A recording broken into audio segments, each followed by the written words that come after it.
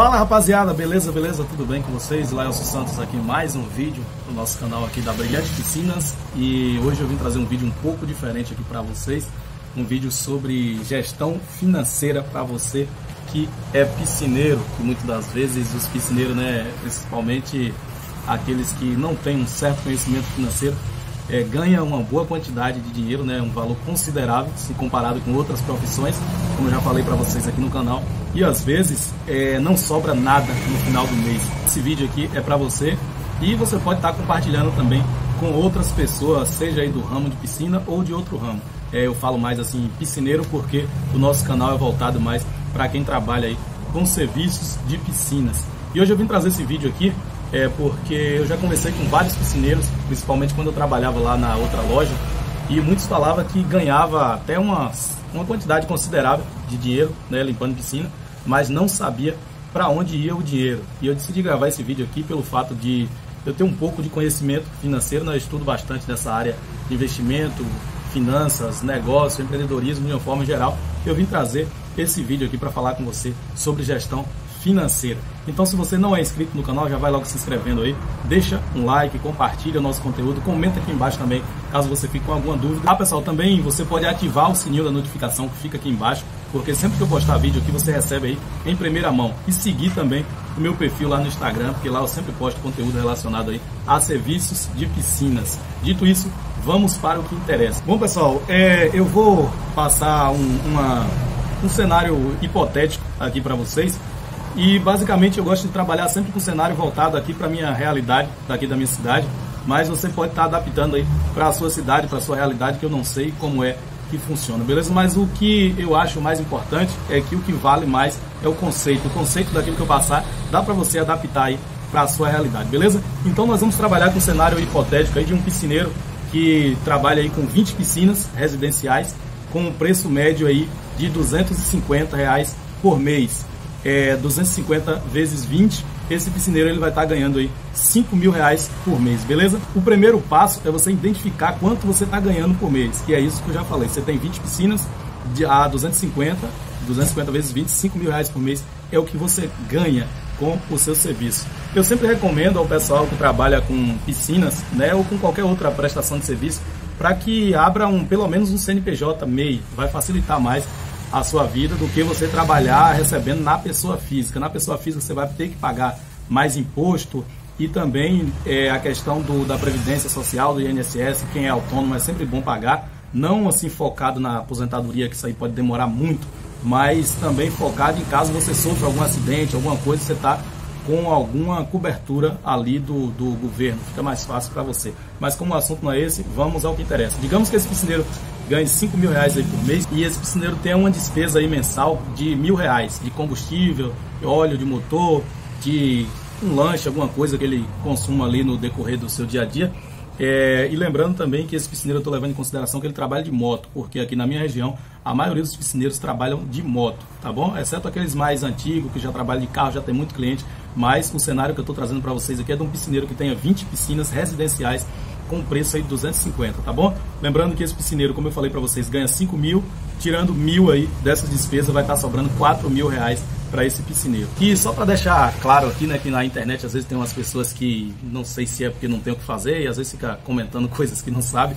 É, às vezes as pessoas, ah, um piscineiro que limpa a piscina de 250 é pouco, ah, que ganha 5 mil por mês é pouco. Não, cada um dentro da sua realidade. Eu acho que hoje a pessoa que ganha 5 mil por mês limpando piscina está é, ganhando até bem, se comparado com outras profissões, né, que ganha um salário mínimo, ganha 1.300, 1.400, 1.500 reais.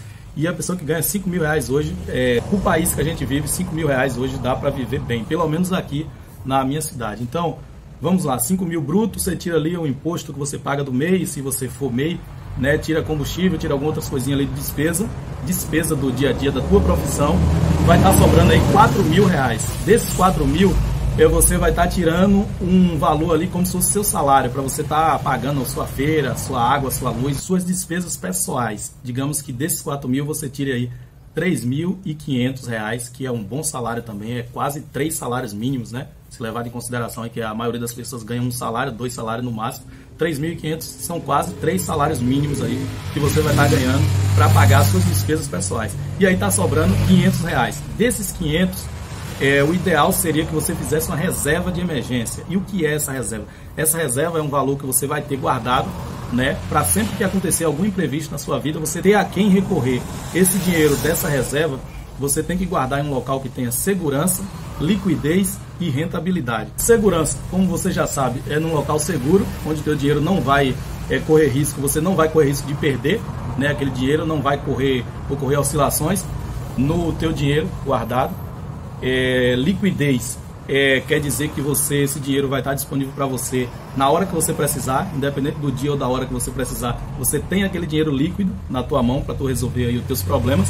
E rentabilidade, você tem que ter um mínimo de rentabilidade aí para não chegar a perder muito para a inflação. Né? Nós sabemos que a maioria das aplicações que atende esses três pilares aí que eu passei para vocês, segurança, liquidez e rentabilidade, na maioria das vezes rendem um pouquinho menos que a inflação, mas pelo menos você não vai estar tá perdendo totalmente para a inflação. E sobre essas, essas aplicações que você vai encontrar no mercado aí para fazer é, a tua reserva de emergência, a mais conhecida é a poupança, né? Para quem não tem muito conhecimento financeiro, a poupança é aquela que você vai no banco, abre uma conta e ali você vai depositando o dinheiro é, todos os meses esses 500 reais para fazer a tua reserva de emergência. Temos uma segunda opção também, que já é o CDBs, né? CDB significa Certificado de Depósito Bancário. Na prática, você está emprestando dinheiro para o banco, assim como a poupança.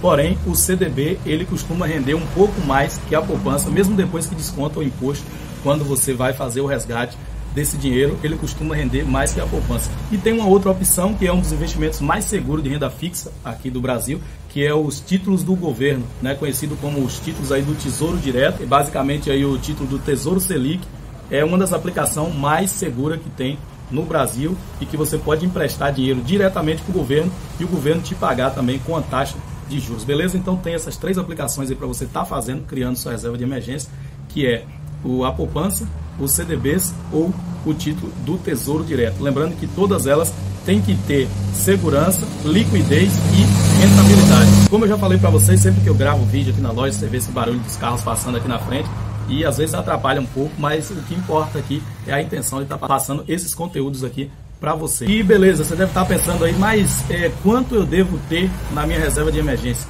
Isso aí depende muito de pessoas para pessoas. O ideal é que você tenha aí é de 6 a 12 meses né, do custo de vida, do seu custo de vida. No exemplo que a gente usou aqui, você tem uma despesa aí na sua, nos seus pagamentos pessoais, suas despesas de casa, você tem uma despesa de 3.500, é o exemplo que eu utilizei aqui. Você pega esse valor, multiplica por 6 ou por 12, se você conseguir, e aí todos os meses você vai guardando ali aqueles 500 reais, que representa aí 10% de tudo aquilo que você ganha, e você vai chegar um momento aí que vai formar essa reserva de emergência, vai estar com esse dinheiro. Isso vai te deixar mais tranquilo quando você vier a passar por algum problema aí financeiro, precisar de dinheiro. Quando você tem uma reserva de emergência, isso te deixa mais tranquilo. Então eu vim trazer esse vídeo aqui hoje falar um pouquinho com vocês sobre a importância de você estar aprendendo, buscando conhecimento financeiro, principalmente para você que trabalha só com prestação de serviços, que não tem assim um foco de pegar o dinheiro que você ganha de serviços e comprar produto, que é o caso de quem trabalha com serviços e com produto, mas você ter um foco de montar uma reserva, de juntar um dinheiro, né, para quando você precisar, você não precisar depender de cartão de crédito, de empréstimo e etc. Então, espero que vocês tenham gostado desse vídeo. Um abraço a todos vocês aí. Qualquer dúvida, pode deixar aqui embaixo nos comentários que eu vou estar respondendo vocês, beleza? Um abraço a todos aí. Fiquem com Deus e até o próximo vídeo.